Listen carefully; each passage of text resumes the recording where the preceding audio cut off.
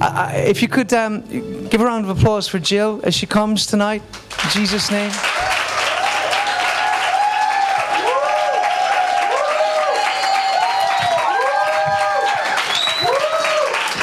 Um, I'll give you the wireless Can if can find it.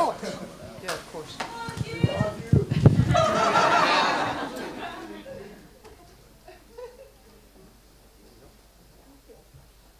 It's uh, my mother-in-law, Jill Chu. She's not Chinese, she's Scottish.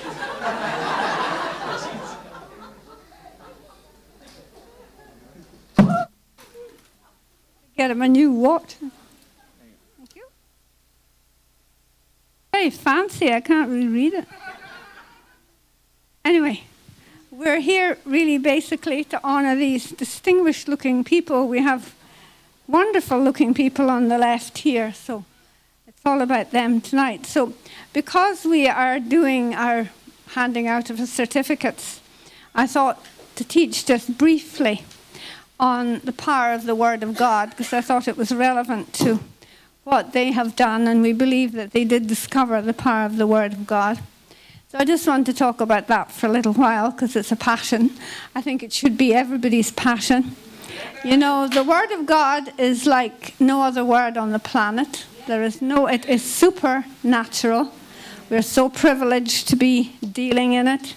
And you know, if you think about it, when someone or you share the gospel, which is the word of God, the message of salvation, that word has the power in it to bring a dead human spirit instantly to life. You know, we get really excited when we hear of the dead being raised. You know, that's the ultimate ministry. You know, how many people have you raised from the dead, brother? You know. Salvation is that. It is the ultimate raising from the dead, because the other one you'll go again sometime. But when you're raised from the dead spiritually, that is done by the Word of God. That is the power of the Word of God. And you're brought to life and you're connected to the Creator of the universe. I mean, what could be more amazing than that? So, you know, that's why we see in Romans 1:16, the gospel is the power of God unto salvation. And it is the gospel is the power of God unto healing.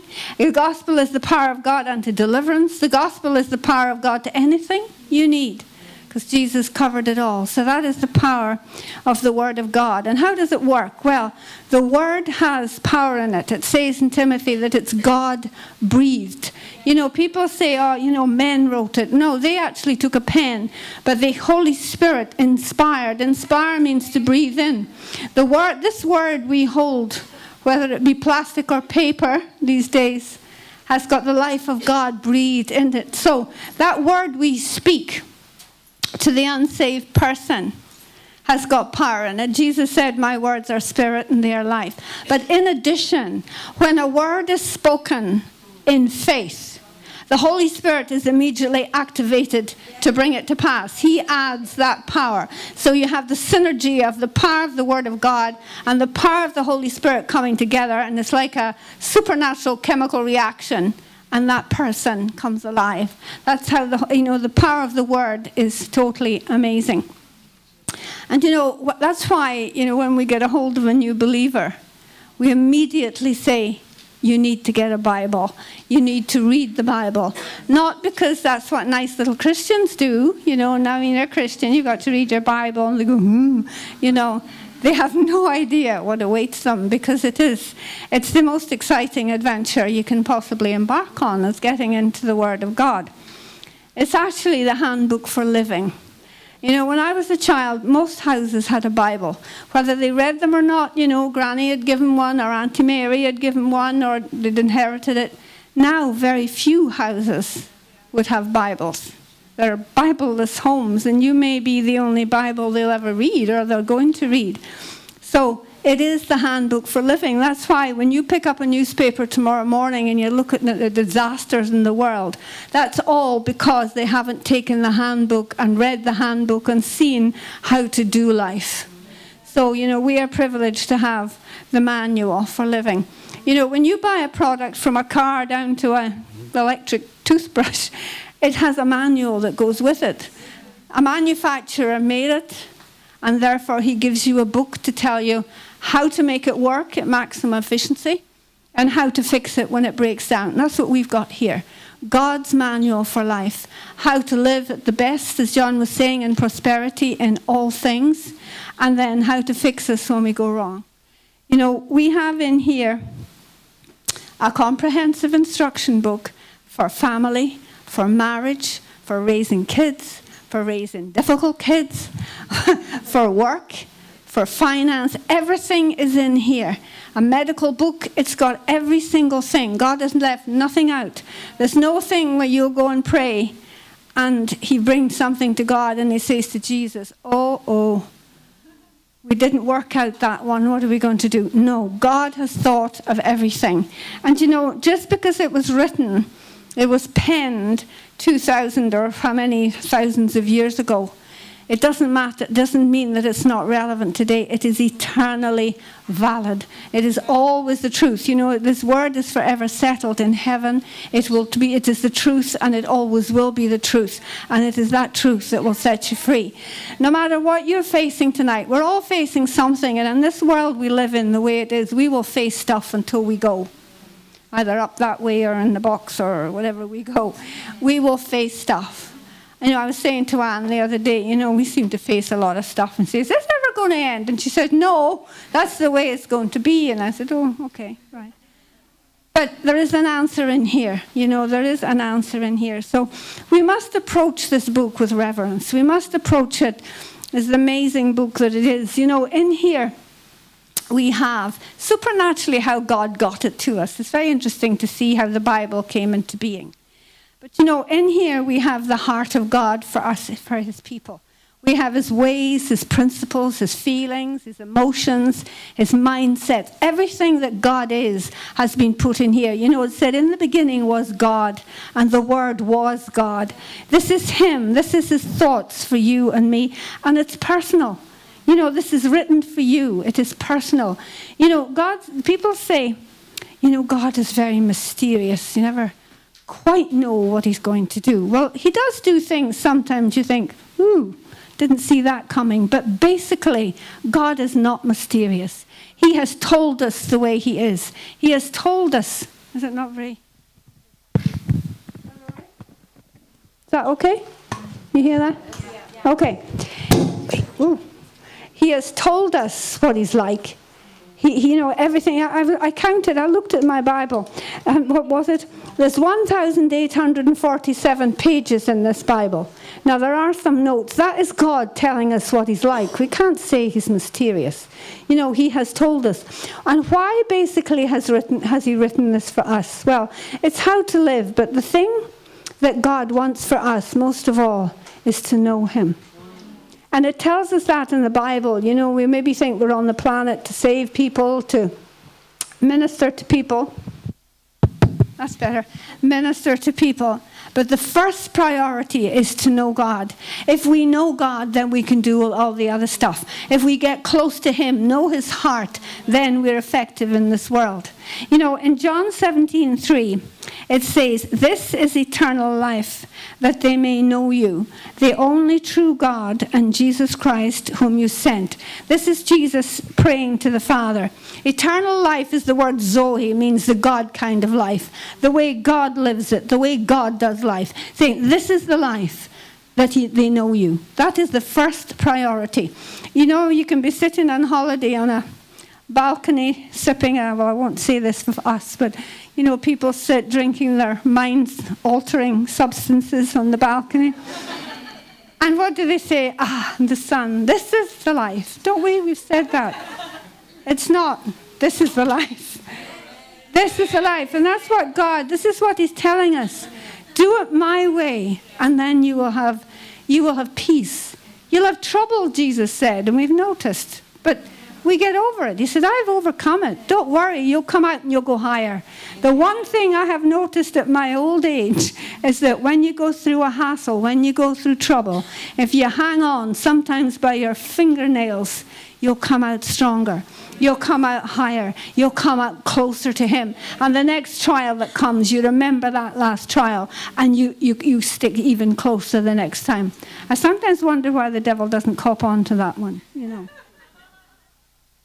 There's another scripture I think is lovely about knowing God. Jeremiah 9:23. It says, "Don't let the wise boast in their wisdom, or the powerful in their power, or the rich boast in their riches, but those who wish to boast." In other words, if you want to be proud of anything, this is what you do: is this alone that they truly know me and understand that I am the Lord who demonstrates unfailing love. So, you know, God is quite insistent that knowing Him is really the essence of life. You know, so that's saying no matter how smart you are, no matter how rich you are, no matter how powerful you are, all of that will pass one day. The only thing that matters is knowing God. And you know, when I, I was sort of preparing this, I thought, do I really know God? Can we ask ourselves, how well do we know God? How close are we to Him? How precious is He to us? What does He mean to us?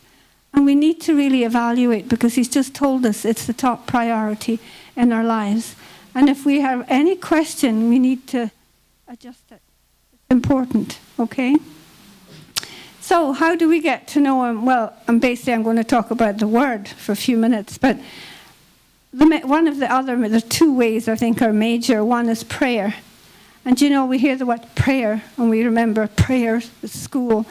But prayer is just, you know what it is? Hanging out with God. It's communication, it's talking to Him, talking and communicating with God. And it should be a two way conversation. You know, my prayer time used to be I'd get before God and have a good moan. And I would say, God, I can't take this anymore. This person is getting worse instead of better. I've been praying for 10 years and look at it, look what's happening. And, you know, God really doesn't want to know that. What did he say? Talk to your mountains. And you do this in Bible school. Don't talk about your mountains. He doesn't want to know. He said, talk to them and I'll shift them. He doesn't really, you know, it's a scripture, and I, I, didn't look it up before I came out. It says, You weary me, weary me with your complaining. God knows what you're going through. He's given us the way out. It says, Jesus is the high priest of our confession. Confession means saying the same thing as him. We go before the Father and we say, This person needs to shift. I command and decree that that situation change in Jesus' name. We talk faith. You know, without faith, it's impossible to please Him. So I used to have a good moan, and then the other, I gave him my list, my Santa list. Now, you want to do this, and I want to do that, and I want to do this, and I'll see you tomorrow. Okay, that was really my prayer time. But you know, that's not at all. What, what did Jesus say we to do with prayer? First of all, we say, Our Father, hallowed be thy name. We worship him. That was the blueprint. It wasn't meant to be our Father who art in heaven, hallowed be thy name. But we said at school, it was an outline for prayer. But isn't it interesting? The top priority in that is hallowed. We worship you. Worship God first, no matter what's going on worship God, get into His presence. All our prayers, even the, the, quicker ones, first thing in the morning, we should touch His heart. We should touch heaven. You know, perfunctory functional prayers are insulting to our Father. You know, if you have, uh, like, say you and your husband, if you got together in the morning and you say, Right, I want to come and talk to you about the children, I want you to talk about the budget, and I want to talk to you about painting the sitting room, and we'll deal with that, and then we'll talk again tomorrow morning.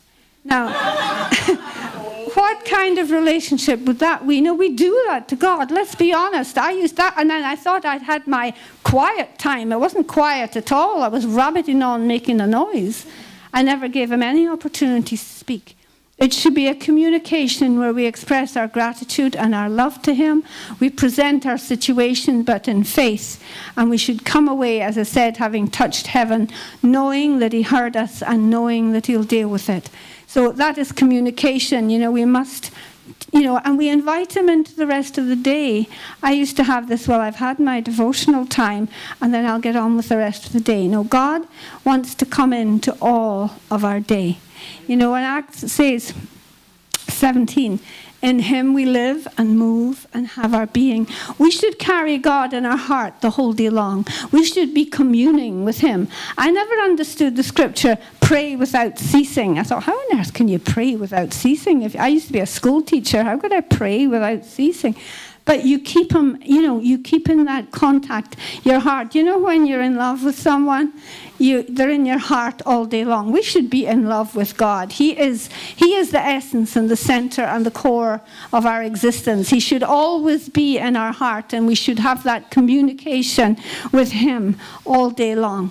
So we shouldn't, you know, leave that place and think, well, that's my God time and move on. We acknowledge Him in the Proverbs. It says, in all our ways, bring Him into everything. Patricia was sharing with me last Sunday about she, uh, you know, she started just, I don't know, maybe you've always done it, Patricia, for a parking place. And you know, why not? I mean, around here, you do need God to get a parking place, big time. It's a miracle every Sunday if you get one. But you know, we acknowledge him. We should acknowledge him in everything. I think women find that easier than men because they're all macho and I'll do it myself. But you know, we should acknowledge God in everything that we do. He is interested in the little things. He, you know, he's interested not just in the major things. He's interested in everything. You know, in, in John 15, 5, I find such a comforting scripture. Without me, you can do nothing.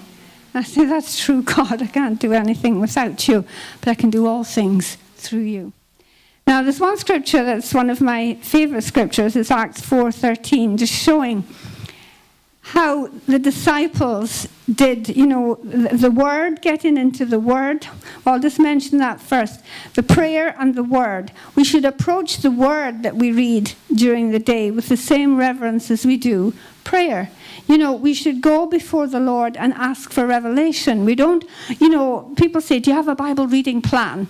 And I said, Well, no, but I'll be studying something at that particular time. There'll be an area I'll be studying. But I remember in the old days we used to get taught have a Bible reading plan. You read something from the old, something from the new, and a psalm.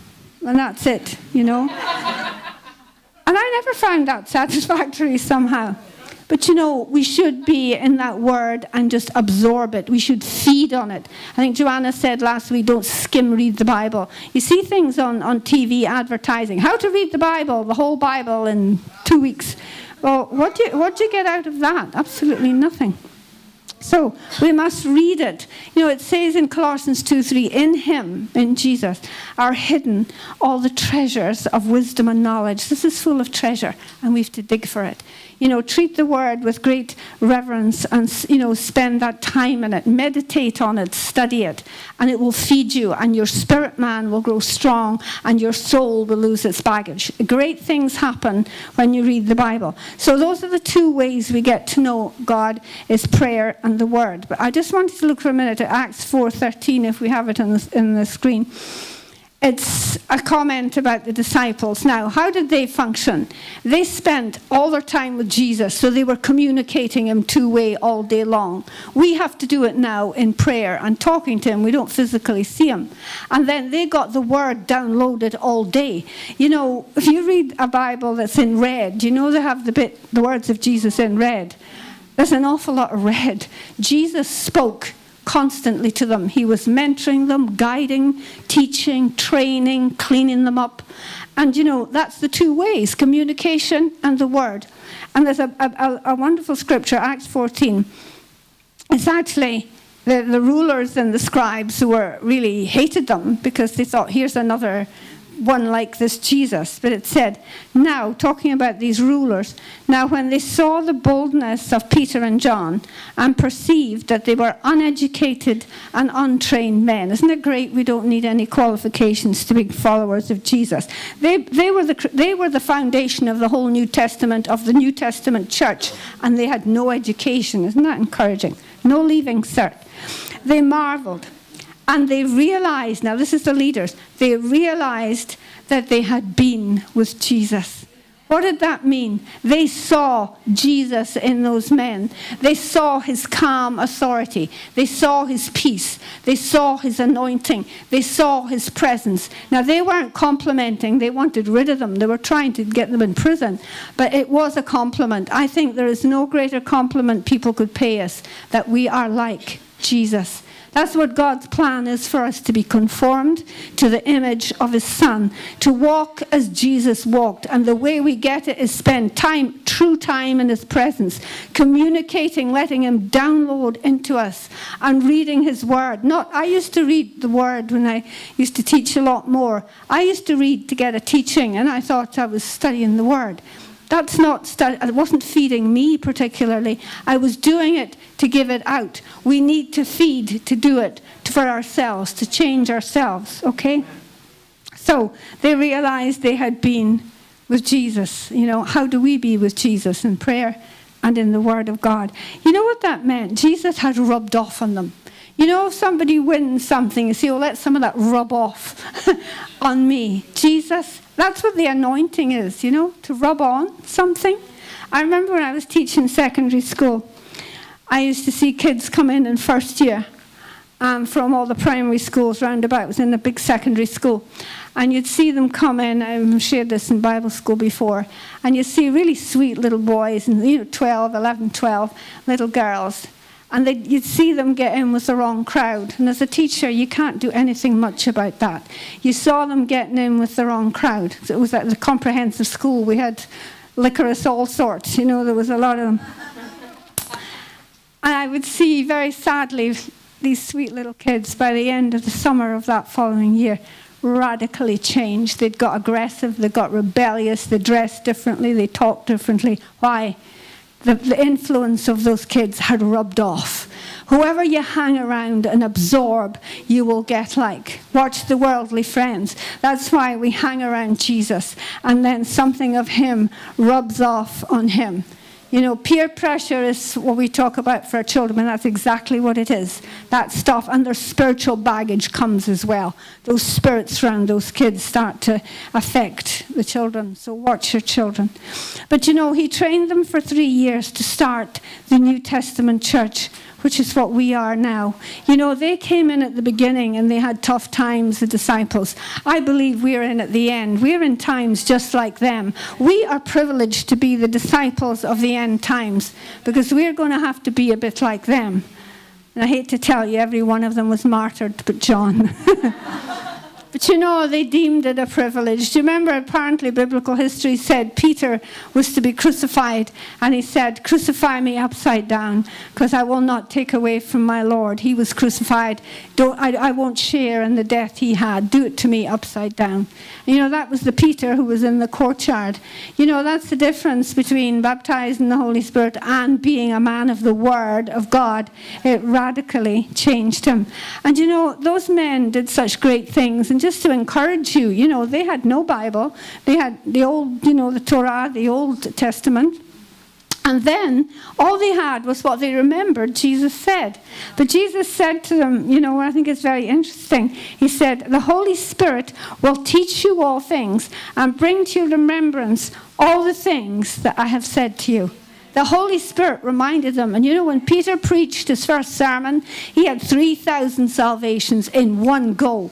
That was some sermon. The Holy Spirit was working through him. Okay? So, you know, the Word of God is powerful, and, you know, if they can do it, we can do it. Amen. You know, Paul and Silas, they, were, uh, they had the same sort of problem with the leaders. There was the unconverted Jews. They criticized them as well, but they complimented them as well. You know what they said? Look at these nuisances. They've been with that Nazarene guy. You know, look at them. They're just like him. But then they said, those who have turned the world upside down. You know, Paul on his donkey and his boat and his feet, we don't know how he got there. And Peter apparently got to Rome. They got to Europe. They managed to get to Europe, and because of that, we're here because of them. We're here because of their courage. We're here because of their bravery, their obedience, and their persistence. You know, it's quite remarkable. You know, we're connected with those people. There's no real time lapse. When we go to heaven, we'll be all sharing stories together. You know, we're in the end times, and we will face what they faced, you know, except we have it easier. We have a Bible, we have teaching, we have technology, we've got the internet, we've got all the Facebooks and all these stuff that I can't be bothered. But it's so much easier for them. The gospel can go around the world in an instant. They had to walk day after day after day and risk their lives. But they did it, so we can do it. Surely, you know, if they turned the world upside down, surely we can. Now, the one thing that the word did for them, and I'll just finish with this. In John 15 3, Jesus said to the disciples, and this was just before he, he went to be crucified. The last things you say before you're dying are pretty important. He said, You are already clean because of the word I've spoken to you. That word not only gave them wisdom and revelation and built them up in spirit, and they were now born again and spirit filled, made a huge difference. But the words that Jesus spoke over those three, three years that he was with them, cleaned up a lot of the baggage that they carried. And you know, we all carry baggage. We are born again. We get a brand new spirit, as you know. But we come into the Christian walk with a lot of baggage in our soul. Some of us more than others. Depends on your upbringing, depends on your circumstances. People who have been abused and been in difficult circumstances have more baggage than others, but it's nothing to God. We all end up the same. I think Mark and Cynthia are a wonderful example of how you all end up the same. Cynthia was brought up in a wonderful Christian family, one of the finest churches in America and you know and taught in a christian school. Mark was brought up in dublin had 12 or was it 16 years on drugs? He you know he you know he had a very exciting testimony but look at them now. They are the same. They're at the same level. It doesn't matter where you are. All that junk can go. He, he tried to commit suicide several times. And the final time he tried, the Lord intervened. I think he said the whole room filled with light. And he, he instantly was del- instantly delivered from drugs. Next morning, he threw it all out, all the drink out. And he went out and witnessed. You know, that is the power of God. So, you know, but we have soul baggage, and that is why, and I just was saying, what this is what these people have done. Romans 12, it says 1 and 2. Do not be conformed to this world. Don't pattern your life against the world. My God, who would want to these days? Anyway, be transformed by the renewing of your mind. And that's what Jesus did with those men. He, he cleaned them up it's that, that word means to prune as well. You know, when you prune something, you get rid of the dead wood, you get rid of the rotten bits so that new growth can come. That's what that cleaning up is. So, transformation, which means total change, can only come to us when we get into the Word of God total, you know, you get changed when you're born again. You'll make it into heaven, but you won't have much of a joyful ride in this earth. I know people who got born again and they did nothing about it, and you know, you would hardly know. We'll see them in heaven, but you know, life is not so good. So we trans- get transformed by the word of God. Jesus said to his disciples, If you abide in my word, you are my disciples indeed, and you shall know the truth, and the truth will set you free. If you're in any bondage tonight of any kind, this will set you free. I was set free from a lot of anger. Now, my children might say she's not completely, but you should have seen me before. Joanna I'll testify to that. I had a horrendous temper. I just lost control. And it was the Word of God, just confessing the Word of God, that set me free. It wasn't people praying with me, although I've been up for prayer to lots of people. But I, you know, I was set. And you may think, well, that's not as bad as drugs. It doesn't matter. It is. Everything that's like a bondage is a bondage. So, you know, the truth, the Word sets us free. So I encourage everybody here, and I encourage all these students who have so faithfully study the word. Never stop. Don't let that be a season in my life where I did that and I will do something else. You know, keep at it. Let it be your handbook for the rest of your life. And you know, just encourage everybody else. In the days we live, we do need to know the Word of God. It will keep us safe. You know, the safest place to be is in the will of God. And what's the will of God? The Word of God. You know, if you know the truth of how much God loves you, really really loves you. He loves you no matter what. What you do or what you don't do. He's not pleased sometimes about what we do, but He loves us no matter what. That takes away our fear. If you know God is for you and not against you, if you know God will see you out of every difficulty you face, He said, no matter how bad things are, I will give you a way of escape. He always leads us in triumph. You know, if you know that, if you know He's your beloved Father, He never takes your eye, His eyes off you for a minute, He watches you watchfully and lovingly, that takes away fear.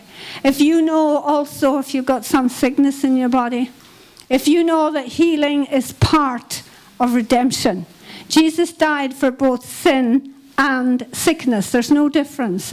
It's just we don't seem to believe it. If we somebody comes and asks God for forgiveness, we believe they're forgiven. But we just have this thing about it's exactly the same. He forgives all our iniquities and he heals all our diseases. The word save in the New Testament also means physical healing. So, you know, we need to know that. He also he wants us to be prosperous, financially prosperous. It was like John said, taken to extremes. I have three Rolls Royces. Well, you can only drive one at once, you know. I have 12 toilets in my bathroom in my house. We can only use one at a time. You know, wealth is not, we shouldn't want wealth for wealth's sake. But God doesn't want us to be poor, on the other hand. He wants us, you can't bless somebody if you've no money. We, I can't throw a crusade if you've no money. It's just that people abused it and we have to be careful. So he wants us to be prosperous. Deuteronomy tells us that poverty is a curse. Okay, I came from a denomination church where was a denominational church where it was humble to be poor. I remember when the rector of our church got a new car, I was shocked. I thought that is so wrong. Why couldn't the poor man? He was as good as anybody else, you know. But anyway. And also, you know, if you're going through a turmoil or a crisis, he always leads you in triumph. He'll get you out of it. You know, there is no problem. You know, God is the ultimate answer to everything. So, just as I said, get rid of the stinking thinking. That is the only way, is in, in here. You know, why? Because he wants us to be his ambassadors. We are all, in this room, you are all ambassadors for Christ. And you know, and an ambassador, what does he do? He brings a bit of his country into your life. They're there to represent their, his, the, the, country that you come from. Remember when the, I didn't see the second Israeli ambassador, I only saw the first one. it was so interesting. He brought a little bit of Israel. He had his little bit of Hebrew, and he talked about, and then he said shalom, and then he, you know, they just bring a bit of their country on the scene. We should bring a little bit of heaven wherever we go, not a bit of hell, a of heaven. We should bring heaven on the scene, okay? Strife is not a good thing. You know, we belong to heaven. We are kingdom people. Do you know, ultimately, it is all about the kingdom of God. That's why we're on the planet. We don't come, we all come from different countries. But basically, we belong to heaven. We are God's people, we are kingdom people, and our heart should be to advance the kingdom of God. And that's why it is so important. You've got this new spirit. You need to get your soul cleaned up through the Word of God so that the Jesus Christ who lives in you. You know, I, I just find sometimes is to meditate on the fact that Christ Jesus lives on the inside of me. Just think right now, you're sitting on your black seat there. Jesus Christ is living on the inside of you. When you go out of here, He's going with you. Yes. And I say to Bible school students if you're watching something on TV that's not good, remember He's watching it with you. But we have Christ in us. We need to get our thinking in line with His so that He can actually work through us. You know, if he wants us to heal, if he wants us to deliver, and we're a bit hesitant, I don't know if I believe in deliverance. My God, Jesus did. He did more deliverance than he did healing. You know, I don't believe in this, and I, you know, well, if it's in here, I'm sorry, change, you know. But, you know, if we don't, Jesus is stuck. The same Christ that healed all those people in here the same Christ that will come in glory on his white horse is in you. He wants to use his power through you. If your thinking is contrary to the word of God, you're not going to, it's, it's not going to allow him to work. So, you know, can I just encourage you that we, it would be good for people to say, I can see that they've been with Jesus. You know, let the only way we will fulfill the destiny he has, he has a great plan for all of us. Everybody in this room has a great plan. Different plans, but it's a great plan. The only way we'll do it is to know this word, to get into prayer with him, talk to him, love him, adore him, worship him, first of all, and get into this word. So we're going to turn now and just say congratulations to these wonderful people here.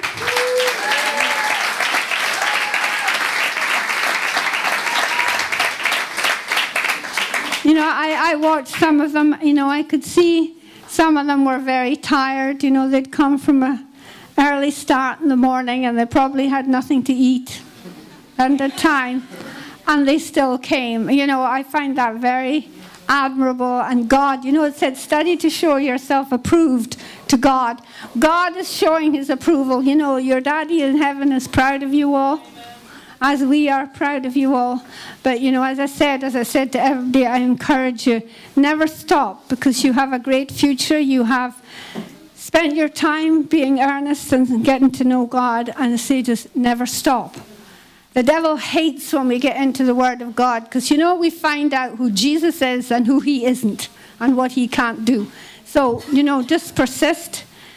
Always make sure if you go to another country, if you leave, always find a church where the Word of God is taught. And, you know, we believe that all of you would disagree that all of these people have a great future in God and they're going to make a difference for the kingdom of God. Amen. So, we're going to get three brave people to come and share. They were told two minutes or they would get two minutes to share just what we said the Word of God did for you in that time. This is the first group that's done the whole course. We've had certificates for one level, two level, but they are the pioneers, they're the heroes who did a whole year. a whole year and they've completed it successfully, some of them highly successfully. So, who's going to start? Well, we start with Lydia. I can't see for all these lights. Lydia?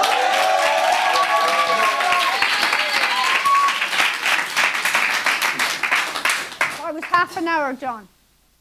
Half an hour. Um, yeah, this is different than singing. Don't think it's so easy to speak. Speaking is different. Um, what I want to say, it's like I never liked being in the school when I was young. Nobody likes it. But then when I uh, came to Ireland and I went, went back to college, as a mature student, I really uh, discovered that I really like learning. And that was um, Actually, my discovery was that the learning makes me discover um, different ways of thinking and learning how to see things from a different perspective. And I really started liking it more and more. Not only the subjects I really enjoyed, but the different things when I were trying to, when I was trying to research and uh, study for my assignment. That really brought a different perspective to to many different things I had no idea about. And um, before I was um, doing uh, like uh, Bible studies online and, and the other things, but I was never really drawn into the Bible study. I was reading my Bible, but it wasn't really like studying the Bible. But when I, I started this uh, Bible school, it was it was life transforming. It was amazing, and you know, especially when you have a teacher who really inspires you, and he with a teacher who brings everything to life for you. I discovered, like as as, as Pastor Jill said, in Bible there are little treasures, there are little pearls, there are little jewels. You have to dig in. You have to dig like in the mines. They're digging to find the diamonds, to find the pearls in the water. They have to dive really deep they're not there just you know displayed for you on a silver plate. You have to dig you have to make an effort to really discover the little jewels. And for me word of god i just read it even if i don't like you know i don't feel like it i just read it every single day. And many times when i was going through depression and very tough times it was a lifesaver for me. And because what i've learned here i discovered so many new things. I had no idea they're in the bible I had no idea how, how important is a blood, blood covenant we have with God through what Jesus did for us. That was absolutely mind blowing for me. And I discovered how powerful it is. And many other things. I'm, I don't have a time to talk about everything. But, you know, I want to encourage you if you're still hesitating about joining Bible course, don't. It's just life changing.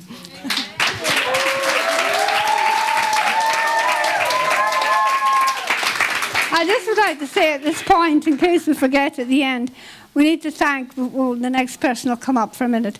Um, thank all the teachers. I, I, there's Anne and Patricia here. Um, um, Ebony, Ebony here. Ebony here. Now Jackie, yeah. Jackie does some too. She's now taken over. Give them applause, sorry. Um, Jackie does Thursday nights now with our own new believers, but Jackie was teaching, and she's a particular blessing because if any of us fall by the wayside, she can take over anything. It's great. So we thank Jackie. We thank Mark and Cynthia, who are not here. Um, Ashlyn joined us briefly. Um, John and Joanna joined us as well, now and then. And who else did we have? I have, I have it written down. This is where you offend somebody too. Yes, um, Anne, Jackie, Ebony, Mark and Cynthia, Ashlyn, John, Joanna. I mean, that's it. And I re- I worked out, yes, yes, Linda. Um, I said, woo! um, I worked out there are 10. That's good, 10 people. Okay, the next one is going to be Patrick.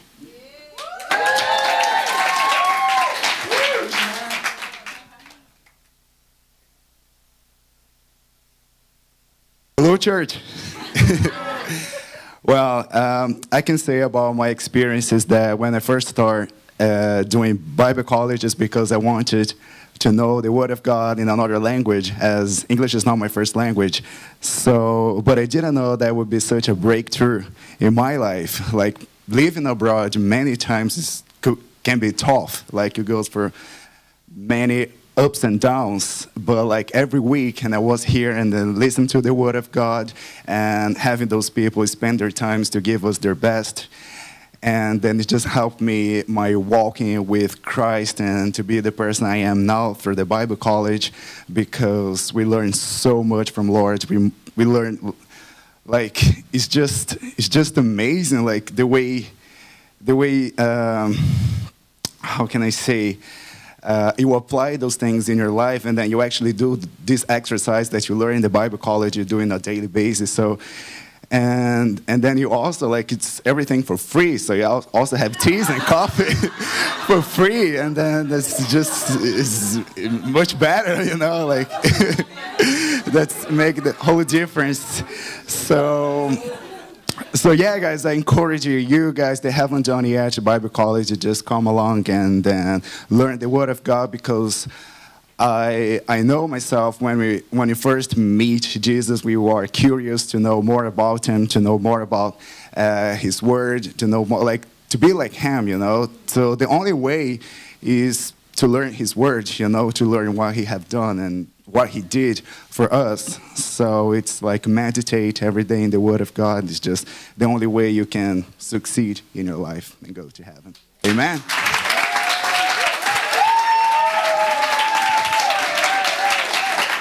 And just one more as Natusha.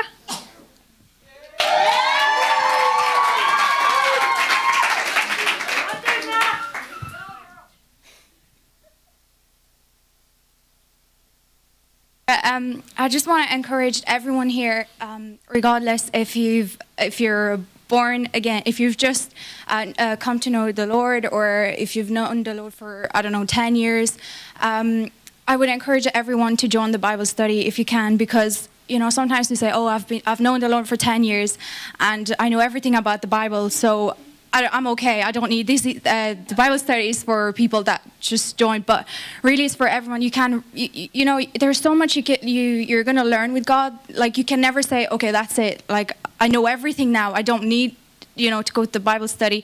But really, you really, you know, if you have the chance, you should really go. And um, from my own personal experience, going to the Bible study has really, really helped me because, um, yeah, I've been coming to the church and yeah, every Sunday, but really, it was I didn't really have a personal relationship with God. It was just going, to, you know, to the church, and you know, that's it. People are saying we're going to church, but my mom always say, you know, you have like to go to to have your personal relationship with God and going to the Bible study. You know, sometimes every time I, I would go through tough you know times. The first thing i would do, I do is run to my mom mom please pray for me or i'll say oh no that sister or brother is praying for me so that's okay. But you know going to the bible study it's really taught me that you know going to church is not enough. Like you need to have your personal relationship with god. So if you have your, any trouble or anything you go see god first. Don't run to you know, it's good that you ask for prayer, but you should really go um, and see God first. And, um, you know, the, the Word of God is really important. And if you put God first in everything you do, and if you love the, the Word of God, He's really going to open doors for you and He's going to take you places that you've never actually dreamt of, that you've never thought that you could do it by yourself, but by, you know, really. Um, going to the Bible study. Sorry, just nervous. and reading the Word of God. You know, God loves that when you spend time with Him. And another way of, you know, worshiping God and, and is, is going and, and reading the Bible because, um, you know, just like uh, when you need food to survive, obviously, if you don't eat, you get weak. And, you know, uh, same uh, spiritually, if you don't eat, which is the Word of God, um, you know, you get weak, and when there is trouble and tough times, you just fall and you know you, you can't pick yourself up so I just want to encourage everyone, just sign up if you haven't done it already. It doesn't matter if your English is not good. I promise the teachers will help you. And if you have any questions, they will help you. So.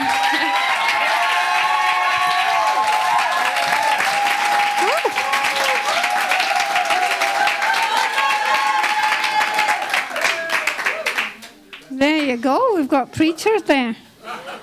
Now, we're going to give out. Now, one or two people aren't here. Some people have gone on holidays. One, Rodrigo Menezes, has gone home. And Kira couldn't make it because she's um, was away in Cork. She said she'd try, so she may appear. Anyway, so we're going to start. The first one is Elsa. There you go.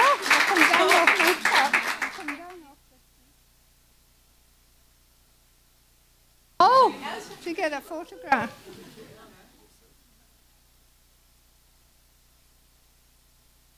Okay.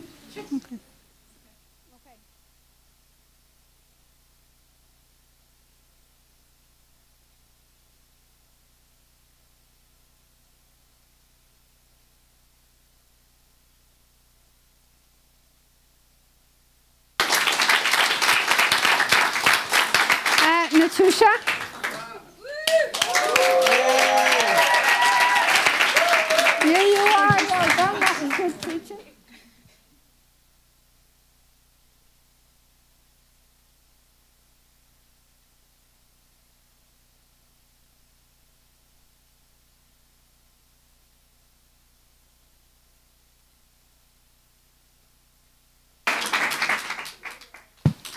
Hitesh.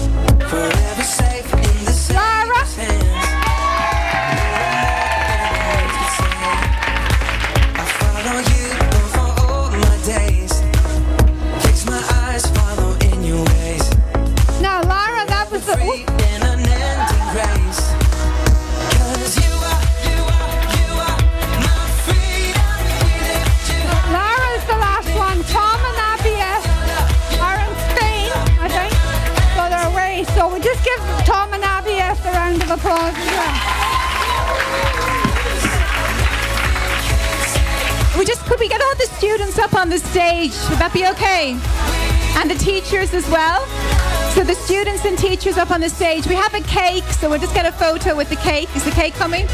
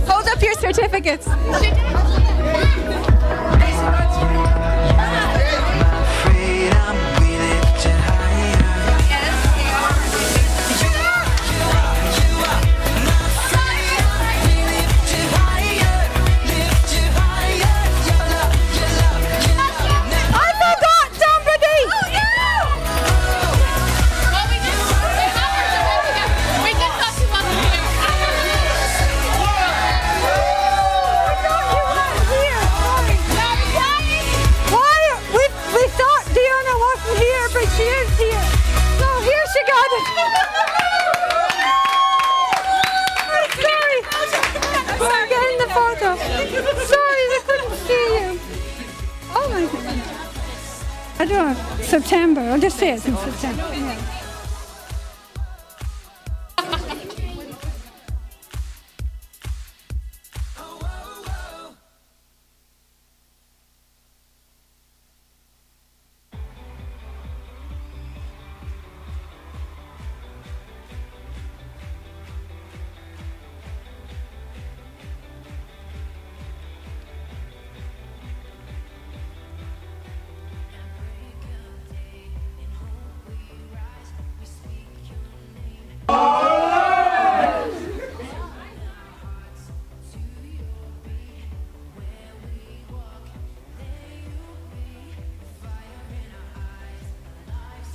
Okay.